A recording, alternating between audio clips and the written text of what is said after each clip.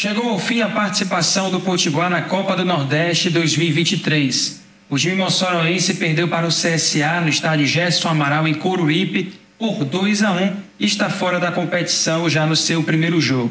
Era um desafio difícil, fora de casa, jogo único, sem vantagem. Uma derrota resultaria na eliminação e foi isso que aconteceu.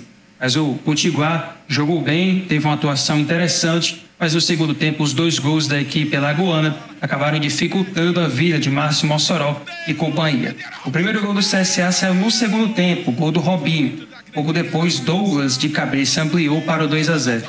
O meu ainda marcou de falta, numa bola que foi desviada pela defesa, anotando 2 a 1.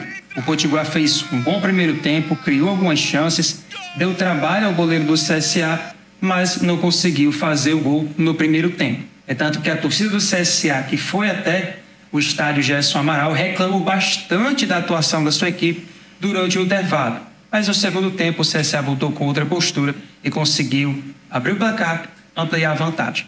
Quando o Portugal conseguiu fazer o seu gol, o gol do 2 a 1, o time pressionou, buscou o um empate na reta final, mas a defesa lagoana conseguiu se segurar. Dessa forma, o Potiguar está fora da Copa do Nordeste e volta suas atenções para o campeonato estadual. A estreia do Potiguar acontecerá na próxima quarta-feira, dia 11, fora de casa contra o Santa Cruz de Natal.